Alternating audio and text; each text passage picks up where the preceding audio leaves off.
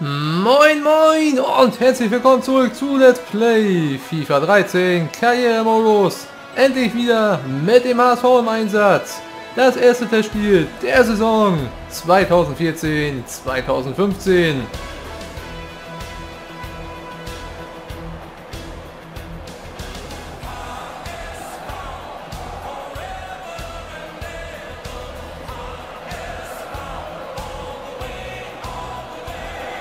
Endlich können wir wieder diese Einlaufmusik genießen. Zurück in der ASV Intec Arena. Unser erstes Testspiel des Jahres bestreiten wir gegen den italienischen Spitzenclub, muss man ja mittlerweile sagen, den SSC Neapel. In Real Life Vizemeister geworden in Italien. Schiedsrichter ist heute Afonso Secretario. Von zwei Beruf Sekretär, nehme ich an. Ein Brasilianer, der heute an der Pfeife pfeift. Sagt man das so? Egal, auf jeden Fall. Der HSV heute mit einer B11. Die ganzen Stammspieler, bis auf Dani Caligiuri, alle heute auf der Bank oder sogar gar auf der Tribüne, während die Italiener sogar mit ihrer Stammelf auflaufen. Wir sehen es hier, Aubameyang, Alaba, Kouyaté, Diekmeyer, Baumann, alle auf der Bank, Eriksen nicht mal im Kader. Das ist also unsere B11 bis jetzt haben wir ja vier Neuzugänge, alle vier heute in der Startelf. Das fängt an bei Fabian Giefern im Tor. Unser Top-Neuzugang bis jetzt Jerome Boateng auf der Rechtsverteidigerposition. In der Mitte verteidigt Diakne, der Neuzugang aus Freiburg. Und im Mittelfeld, da spielt im Offensiven auf der 10er Position unser junger Jake Wilson, der war dieser 20 Jahre jung. Haben wir ablösefrei geholt. Mal gucken, ob er was drauf hat, der junge Britte. Heuminson ganz vorne im Angriff als einzige Spitze. Wie gesagt, heute darf man die B11 ein bisschen spielen und die Gäste mit dem ersten Angriff. Und Boateng, der Rückkehrer vom FC Bayern, verursacht gleich mal die erste Ecke. Getreten vom Neapel-Kapitän Marek Hamsik. Und erste Chance, erstes Tor. Dritte Minute, Christian Maggio. Der Flügelspieler der Italiener mit der frühen Führung. Oh, und das ist einmal ein nicht so schöner Auftakt. Natürlich in der Entstehung glücklich. Abgefälschter Schuss von Inder müsste das gewesen sein. Fällt vor die Füße von Maggio. Und die Italiener mit der Führung. AJSV-Fans lassen sich davon nicht entmutigen. Der Tabellendritte des Vorjahres ist ja für die Champions League qualifiziert und die haben großes vor in dieser Saison. Die Italiener mit einer Dreierkette, mit einem breiten Fünfer Mittelfeld. Diese taktische Ausrüstung, Ausrüstung, Ausrichtung gibt es relativ selten. Nur in Italien häufiger mal angewendet und Diagne sieht nicht gut aus. Aber Boateng gewinnt das Kopfballduell und gestochert von heutigen Kapitän Milan Badell für Van der Vaart in der Startaufstellung und Distanzschuss. Und den ersten Ball, den Fabian Giefer halten kann, der Neuzugang aus Düsseldorf. Ja, transfertechnisch sind wir ja schon ja, fast fertig mit der Kaderplanung. Der Transfer von Wilfried Boni steht natürlich noch aus. Den wollen wir auf jeden Fall unter der Woche jetzt perfekt machen. Vielleicht ist er dann schon im nächsten Testspiel gegen Atalanta Bergamo mit dabei. Wäre natürlich sehr zu wünschen. Jetzt gucken wir erstmal auf Rincon und mit der guten Flanke. Tick zu weit für Heuminson. Wieder Thomas Rincon. Auf Wilson, unser Waliser. Milan Badell. Wäre eh abseits gewesen, deswegen nochmal Neuaufbau über Jansen. Über Osame Tanane. Wilson nochmal. Badell. Schönes Spiel von Zorn. Rincon. Und gut gehalten vom italienischen Torwart und die kontern jetzt die Italiener mit Insigne. Der ist unglaublich schnell und macht das 2-0 nach einer Viertelstunde. Ja, so hat sich der HSV den Start natürlich nicht vorgestellt in die neue Saison. Aber es ist ja noch eine Testspielphase. Da können noch Fehler passieren. Douglas übrigens heute wieder in der Endverteidigung, der in schlechter Form ist. Aber trotzdem heute wieder seine Chance bekommt. Boateng deswegen rechts hinten. Der ehemalige HSV also zurückgekehrt. Ist ja eigentlich auch ein Innenverteidiger, wobei er von seiner HSV-Zeit diese Position eigentlich sehr gut kennt. Und jetzt gut gespielt auf Osama Tanane. Zweite Riesenchance. Aber weder Rincon noch Tanane können sie nutzen, weil es keine Torjäger. Aber unsere B11 kann hier mithalten. Hat natürlich bei den beiden Gegentoren vielleicht jetzt ein bisschen Pech gehabt. Mein Gott, war auch gut gespielt von den Italienern und ein Insigne. Der überzeugt momentan bei der Real Life U21 Weltmeisterschaft. Gut mitgespielt von Giefer. Die haben schon einen sehr starken Kader. Der SST Napoli oder Neapel. Jansen heute hinten links. In der letzten Saison auch auf wenige Einsätze gekommen. Mal schauen, wie sich die Vorbereitung so entwickelt. Vielleicht empfiehlt sich ja der eine oder andere Spieler sogar für die Startelf. Gut gespielt von Boateng, Rincon. Das ist Wilson, das ist Son, Badell, schnell gespielt. Aber der letzte Pass fehlt dann von Heuming Son, der auch ein großes Thema bei euch war in den Kommentaren. Dass er sich bei vielen bis zu einer 89 sogar entwickelt haben soll. Gut, bei mir ist er jetzt stagniert auf einer 75 und fast das 3-0. Weswegen ich mich wahrscheinlich auch von ihm trennen werde. Bei mir hat er halt nicht so die Entwicklung genommen.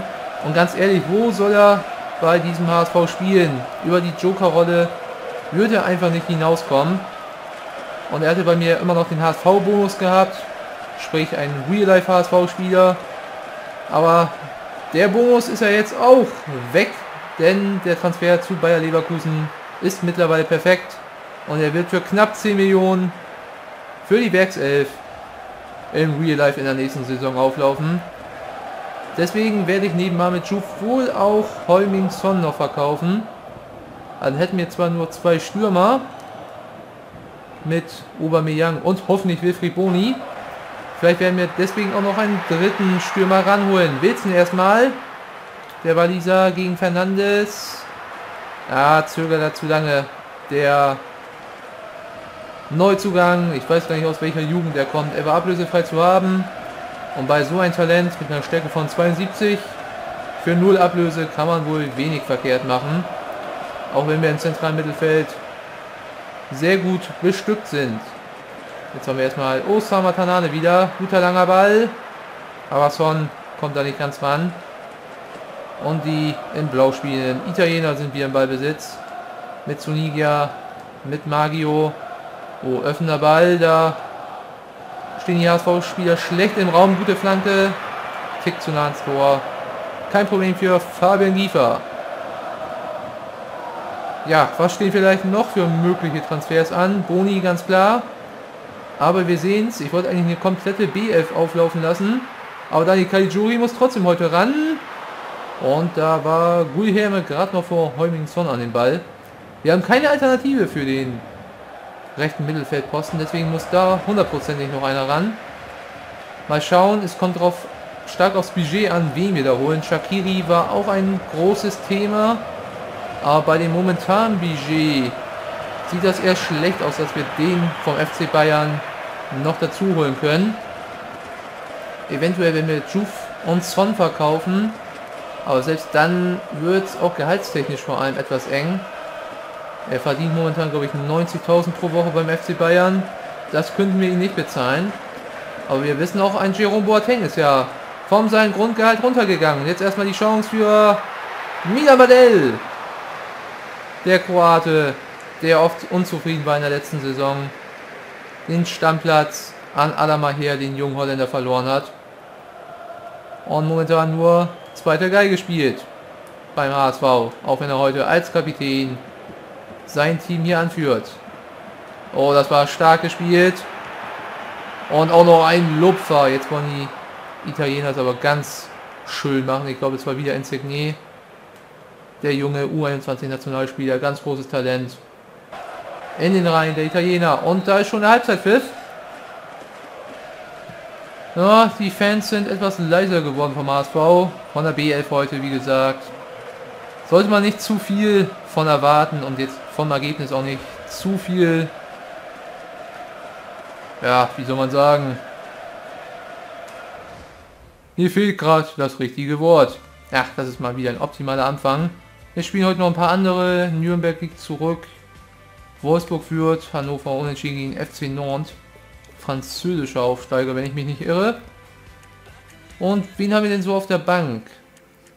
Ein teurer Arslan. Das ist auch noch so ein Kandidat, verkauft zu werden. Da wir jetzt Wilson für seine Position noch als Ersatz geholt haben, neige ich schon fast dazu, auch noch Arslan zu verkaufen, damit wir noch ein bisschen mehr Kleingeld haben.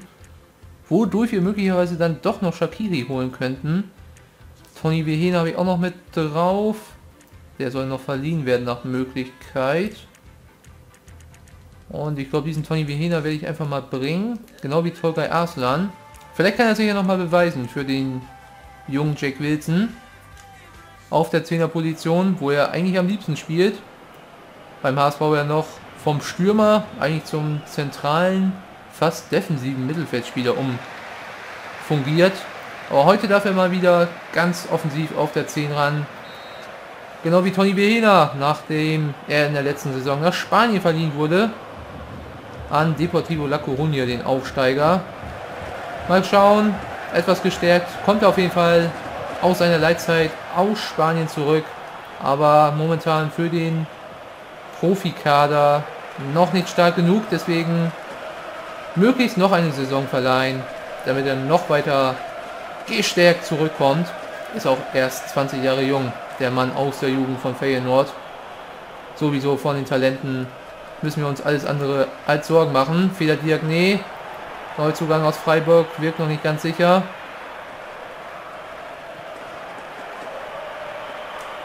Ah, Diagne diesmal dazwischen. Aber auch er ist momentan nur unser Innenverteidiger Nummer 3, vielleicht sogar nur 4 neben Douglas, wird sich da streiten. Denn momentan sind in der Innenverteidigung so vorgesehen, dass Boateng und Kouyaté natürlich zusammenspielen werden und Dietmeier dann auf den Rechtsverteidigerposten. Kaijuri. Nächster Flankenversuch, Fehler von Guilherme. Und die Italiener haben Probleme, den Ball zu klären, aber Arsenal verliert das entscheidende Kopfballduell. Diagne, gut den Zweikampf gewonnen. Tony Vehena. Holminson, na, zu schwach der Pass. Und die Italiener können wieder einen Konter einleiten. Machen das auch gut. El Kaduri vorbei an Douglas. Aber Boateng noch einer der besseren heute. Der bisjährige Top-Neuzugang vom FC Bayern, der Rückkehrer aus der Berliner Jugend, Tolga Aslan. Ostama Tanane, aber halt kein Kopfballspieler in der Mitte. Und Aslan kommt da nicht zum Abschluss. Ja, diese Spiele hier, die Testspiele sollte man noch nicht zu ernst nehmen, ganz klar. Vor allem mit der B11 nicht. Da sind ja noch einige Top-Leute auf der Bank. Beziehungsweise eigentlich die komplette A-Mannschaft. Fängt ja von Obermeyang an, über David Alaba, über Eriksen, Van der Vaart, den Kapitän natürlich, Maher, ein Kuyate, ein Dennis Diekmeyer, ein Aogo, der ja momentan noch in Vertragsverhandlungen steht, den Vertrag um zwei Jahre möglichst vorzeitig verlängern soll.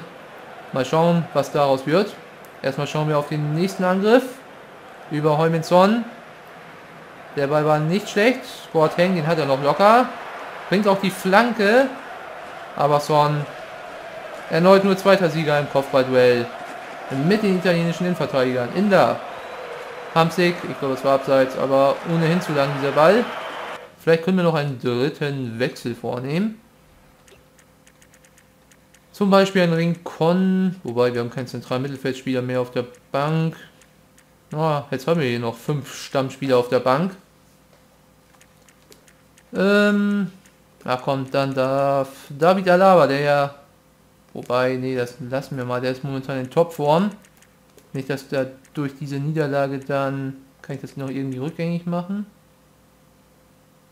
Äh, sieht, doch, kann ich noch rückgängig machen, sehr schön. Denn Alaba möchte ich jetzt nicht durch eine mögliche Niederlage hier und heute, dass er an Form verliert. Deswegen kommt nochmal Aubergine Aubameyang gleich ins Spiel. Marcel Jensen, Tony Behina, Aslan. Und wieder Tanane. Auch er soll nach Möglichkeit noch verliehen werden. Gute Flanke. Und Kopfballson. Diesmal setzt er sich durch. Aber sein Kopfball zu zentral. Kigarini kommt für Hamschick, den Kapitän. Und Aubameyang neu dabei für Heumenzorn. Wilhina mit der Ecke. Kommt nicht schlecht. Diagne ist da angerauscht gekommen. Aber kommt da nicht ganz zum Kopfball. Vargas. Auch so ein Talent in den Reihen der Italiener. Aber hier kriegt er den Ball nicht ganz unter Kontrolle. So die Konterchance über Aubameyang. Ah, es war ein Tick zu spät gespielt, aber nicht auf Abseits entschieden. Arslan nochmal. Aubameyang auf Jerome Boateng. Der Rechtsverteidiger. Sehr offensiv. Gefällt mir. Ist auch eine gute Alternative für Diekmeyer, den mal ab und zu auf diese Position zu stellen. Nächste Kopfballchance. Aber abgewehrt von den Italienern. Mario, der Torschütze, Ender, der Schweizer Nationalspieler. Ja, und da sieht Arsenal wieder nicht gut aus. Empfiehlt sich jetzt nicht unbedingt, weiter im Kader zu bleiben. Und jetzt die Chance für Mario. Und zweites Mal Alu. Und er bekommt nochmal die Nachschusschance. Ja, die B11 bei weitem nicht so stark wie die A11, ganz klar. Wir müssen uns in der Breite verstärken. Und das dritte Mal Alu, glaube ich, für die Gäste heute. Inder nochmal. Also diese, oder dieser Rückstand geht ganz klar in Ordnung. Ah, was war das denn? So wollte ich den auch nicht spielen. Und der gute Insigne, der ist zwar schnell, aber den bekommt er dann auch nicht mehr. Und jetzt kommt Wallon Berami, ein weiterer Schweizer. Ehemaliger Spieler von West Ham United. War damals einer meiner Lieblingsspieler. Leider den Londonon, Londonon, Londonern den Rücken gekehrt und nach Italien zu AC Florenz seinerzeit gewechselt. Heute in Dienste des SSC Neapel. Boateng fängt den nächsten Ball ab. Aber er empfiehlt sich auf jeden Fall, auch für diese Position hier. Die kann er noch spielen, auch wenn ich ihn vor allem Real Life eher in der Mitte sehe. Und Schusschance für Tolgay Arsenal. Aber auch der zieht knapp vorbei. Wir können vielleicht noch ein bisschen offensiver aufstellen, damit die HSV-Fans zumindest vielleicht noch ein Tor hier zu Gesicht bekommen. Douglas löst das noch irgendwie ganz gut. Aubameyang, sehr schöner Ball für Rincon. Und er ist und wird einfach kein Torjäger. Der Venizu Leana, sagt man das so, keine Ahnung. Ein reiner Sechser, Kämpfer und Dauerläufer. Aslan. Tony Behina. Kommt Leute, ein Tor noch, HSV. Behina verliert das Duell gegen Kigarini. Und wieder Konterchance für die Gäste, aber abgefangen von Douglas und Diagne. Bisschen haben wir noch. Jerome Boateng nochmal. Kaijuri, von ihm nicht so viel zu sehen. Ah, und das war ein schwacher Ball von Rincon. Viel zu offensichtlich. Vargas, der scheint auch noch angeschlagen zu sein. Setzt sich aber trotzdem noch gut in Szene da. Janssen kriegt den Ball nicht weggespitzt, Diagne auch nicht. Ne, Douglas war's. Magio nochmal. Ich muss dazu sagen, ich habe auch schon fast ja, über eineinhalb Wochen kein FIFA mehr gespielt. Zumindest nicht mehr hier im Karrieremodus. Auch erstmal wieder ein bisschen Eingewöhnungsphase hier. Arslan, guter Ball. Aubameyang, ah, der braucht zu lange, um den Ball da zu kontrollieren. Setzt sich aber prima durch. Aubameyang und nochmal der italienische Schlussmann, der da rettet. Und Caligiuri holt nochmal die Ecke raus. Tony Behena. Kommt nicht schlecht. Kopfball Douglas. Und wieder Guilherme auf dem Posten. Im zweiten Durchgang noch ein bisschen mehr zu tun bekommen. Aber er bleibt zu null. Der HSV bleibt vorne zu null und verliert am Ende 0 zu 2. Verdient muss man dazu auch sagen. Gegen den SC Neapel durch Tore von Magio und Insigne mit 0 zu 2. Gut, aber wie gesagt, das sollte man jetzt nicht zu hoch bewerten. Giefer noch mit der besten Benotung beim HSV. Und auch der Torhüter auf der anderen Seite mit einer 8,7. Not bad, not bad. Wie sieht's bei den anderen aus? Da trotzdem noch alle in dem 6er Bereich. Außer Jansen 5,9. Badell und Wilson waren noch ein bisschen schwächer. Aber das habe ich jetzt schon fast noch schwächer erwartet. Das geht ja noch einigermaßen in Ordnung. Die Niederlage ist halb so wild. Schauen wir kurz auf die anderen Ergebnisse. Nürnberg, Bologna 1 zu 1. Hannover gewinnt gegen FC Nantes 2 zu 1 und Wolfsburg schlägt Valenciennes mit 3 zu 0. Die Wölfe dürften auch ein Europa League Teilnehmer sein, wenn ich mich gerade nicht täusche. Gemeinsam mit Schalke und dem Pokalfinalisten Werder Bremen. Und da lese ich doch eine erfreuliche Nachricht. Wilfried Boni! Ich habe Ihr Vertragsangebot mit meinem Berater geprüft und wir akzeptieren Ihre Bedingungen. Gehalt 100.000 pro Woche für vier Jahre. Wir haben es geschafft, Leute. Wilfried Boni kommt zurück. Jetzt haben wir zwar kaum noch Geld, aber Juve ist ja noch in Verhandlung mit Borussia Dortmund. Vielleicht kommt da noch wieder ein bisschen was rein. Aber jetzt freuen wir uns erstmal über unseren nächsten Rückkehrer, Wilfried Boni, back in Hamburg. Unser Torjäger ist zurück, wunderbar. Was haben wir hier noch? Rigo Beona will Ospina, sollen sie holen. Und Stuttgart hat Interesse an Choupo-Moting. Auch einen ehemaligen HSVer. Es läuft einfach bei Son. Was? Wieso läuft es bei denen? Naja. Jerome Boateng beendet Diskussion um Aufstellung. Was für eine Diskussion? Testspielrückblick, bla bla bla. HSV verpflichtet Boni für 23 Millionen. HSV hat auf der Vereinswebsite bekannt gegeben, dass der Transfer von Wilfried Boni, zuvor FC Barcelona, für eine Ablöse von 23 Millionen Euro über die Bühne gegangen ist. Der 25-jährige Stürmer aus Elfenbeinküste hat eine erfolgreiche Zeit beim FC Barcelona verbracht und hat sich den Ruf erworben, jedes Team bereichern zu können. Ja, beim FC Barcelona hat er jetzt gerade nicht überzeugt. Aber wenn man so überlegt, für 50 verkauft, für 23.000 holen wir ihn zurück. Äh, 23 Millionen natürlich. Das ist schon ein gutes Schnäppchen. Dortmund verpflichtet Luis Gil. Ich glaube, das ist auch in Australien, wenn ich mich nicht irre. Oh, ein US-Amerikaner, auch so ein Talent. Ja, Dortmund holt momentan viele Talente da, wie es aussieht. Und angeblich Bilbao verhandelt mit uns. Nö, da haben wir noch kein Angebot bekommen. Dortmund haben jetzt ein Gegenangebot im letzten Part gemacht. Für 6,5 Millionen könnt ihr ihn ruhig kaufen. Und Vargas hat eine Schulterprellung erlitten, fünf Tage. Das dürften die Italiener verschmerzen. Oh, und schon vier Tage später das nächste Testspiel. Gucken wir mal ganz kurz, wer noch so in den Transferverhandlungen steht. Nur mal mit Juve momentan. Den müssen wir noch loswerden. Dann hätten wir rund 12, 13, 14 Mille zur Verfügung. Aber davon lässt sich ein Shakiri natürlich dann nicht bezahlen. Ach, dann haben wir auch das Angebot für Luis Holtby. Indem wir den Russen von Zenit St. Petersburg Van plus 2 Millionen geboten haben. Aber ich glaube, das machen die ohnehin nicht. Wenn die das nächste Angebot ablehnen, werde ich davon auch Abstand nehmen. Gucken wir noch mal ganz kurz auf die Wunschliste nach rechten Mittelfeldspielern. Wie wir dann noch als Alternative hätten. Gehen wir mal von unten aus. Ich glaube, das müsste schneller gehen oder auch nicht. Verdammt. Ach, Romelu Lukaku war natürlich auch noch ein Thema bei mir. Äh, den als dritten Stürmer zu holen ist dann aber wohl nicht mehr möglich. Es sei denn, wir verkaufen vielleicht noch einen Zentralmittelfeldspieler wie Milan Badell. Wir müssen höchstwahrscheinlich sowieso unser System umstellen, denn ich möchte nicht, dass Boni oder Aubameyang auf die Bank wandert.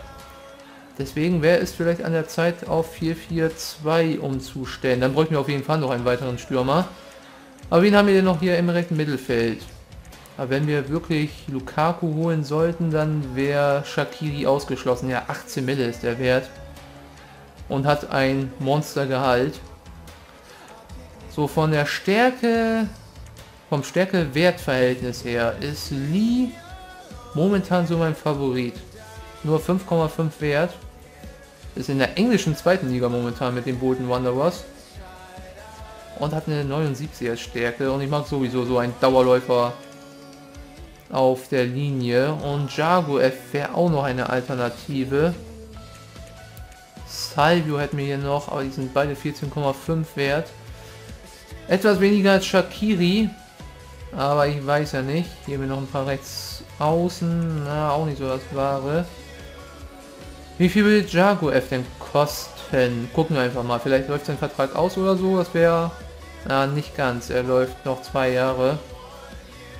Und momentan haben wir auch nicht die Finanzstärke. Wir müssen erstmal warten, bis Ma mit Schuh verkauft ist. Eventuell noch ein Heuming Son.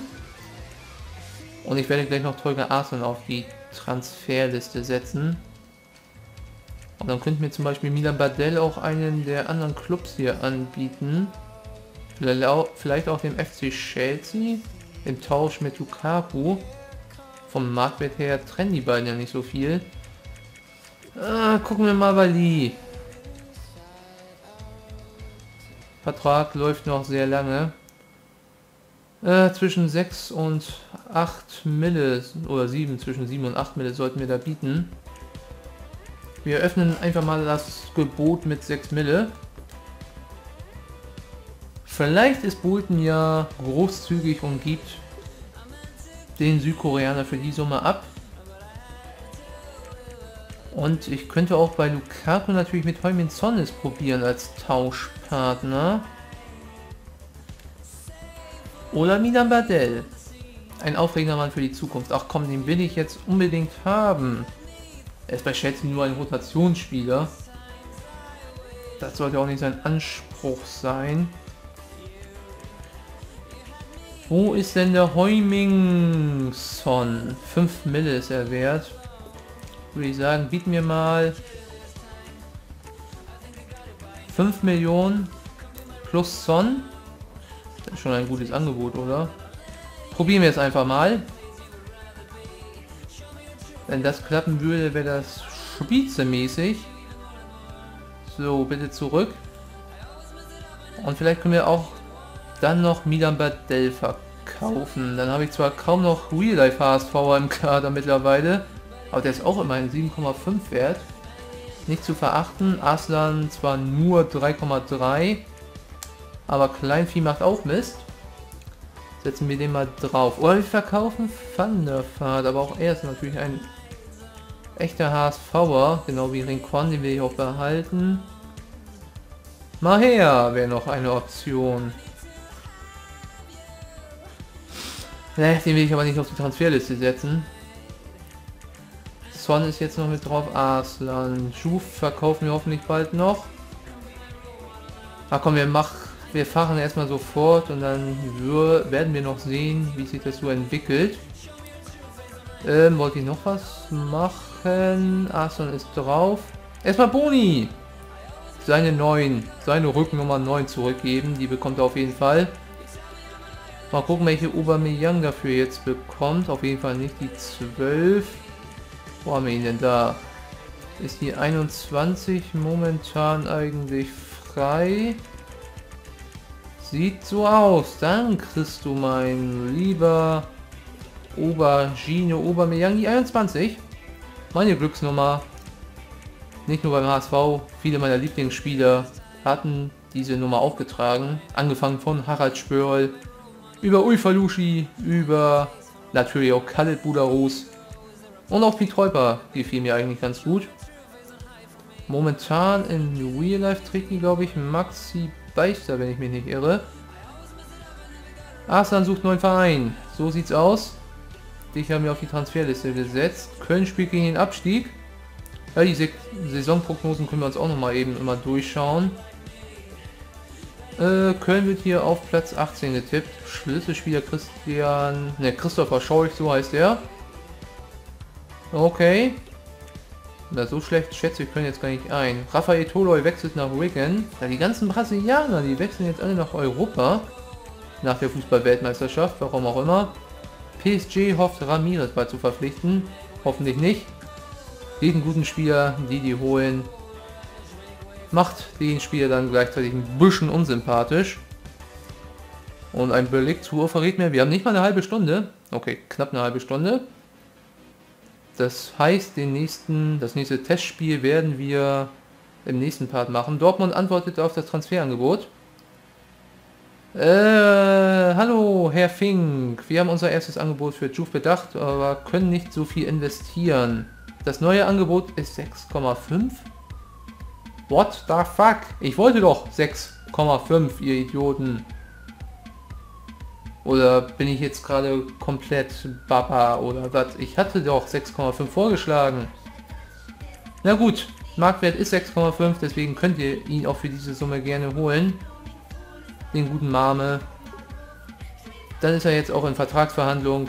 Da haben wir es gerade gesehen, kurz in den News. Mailand verhandelt mit Marseille über Mondondor-Wechsel.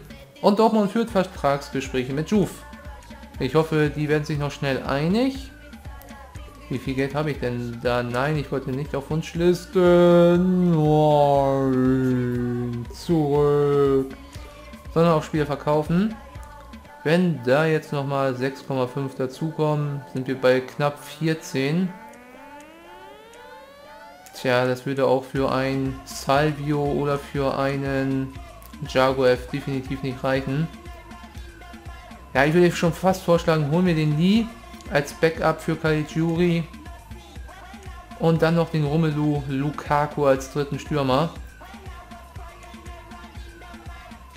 Ich überlege gerade, ob das dann so mit dem Geld dann noch hinkommt. Aber ich habe momentan so wenig Lust zu rechnen. Gehen wir einfach weiter.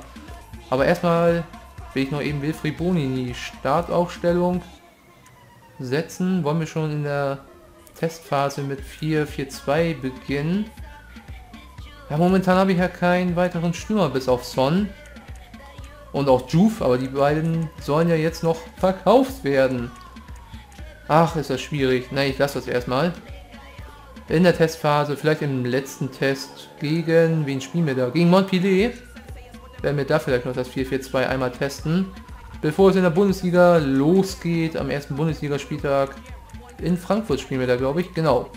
Das zweite Spiel ebenfalls auswärts dann in Stuttgart. Zwei nicht zu unterschätzende Gegner, vor allem die Frankfurter mit Mike Hanke, Arschloch, sind da ein gefährlicher Gegner. Aber wir haben ja noch zwei Testspiele vorher. Info, Vertragsverlängerung. Ah, Ogo hat seinen Vertrag um zwei Jahre verlängert, wunderbar. Andere Vereine zeigen Interesse. Stadtrennen will auch Schupomoting. Ja, dann holt ihn euch doch halt. So, Zenit St. Petersburg hat abgelehnt. Die wollen 8 Millionen auf Thunderfahrt drauf, damit wir Holtby holen. Das ist mir deutlich zu viel. Bolton hat nicht akzeptiert. Die wollen 8,5. Hm. Das ist mir schon fast ein bisschen viel. Hm, und seine Gehaltsforderungen sind auch noch zu hoch. Er verdient auch nicht schlecht. So auf Niveau eines Badell. Da kommen wir bieten einfach mal 7. Wenn die das auch ablehnen sollten, werden wir uns vielleicht doch noch nach einer anderen Alternative umschauen. Äh, für Lukaku. Wir sind weder an den Spieler interessiert noch an der Höhe der Summe. Das ist natürlich schlecht. Das ist Dorf. Na komm, wir bieten einfach noch ein bisschen mehr. 7 Millionen Son. Vielleicht klappt das ja. Und jetzt haben wir noch ein paar Transferangebote für Juve und für Barosch. Hoffentlich ein Leihangebot. Ah, hier kommt jetzt Bilbao mit dem Angebot. Die bieten 5. Aber hier fordere ich einfach mal 7 Mille. Aber der ist ohnehin ja schon mit Dortmund in Verhandlung. Ich hoffe mal, dass das klappt. Dann sehen wir ihn immer noch in der Bundesliga. Und Paderborn. Saisonleihe. Keine Kaufoption. Moral unglücklich. Wollen wir ihn in die zweite Liga verleihen? Das wäre auch mal eine Idee. Aber ausgerechnet nach Paderborn. Ach, die gemeinsame Geschichte ist ja nicht die beste, auch wenn der Verein nichts dafür kann. Ach komm, leihen wir ihn halt nach Paderborn in die zweite Liga aus. Haben wir gleichzeitig auch noch ein bisschen Gehalt gespart. Nicht viel, aber immerhin 3750 pro Woche. Kleinvieh, wie gesagt, macht auch Mist.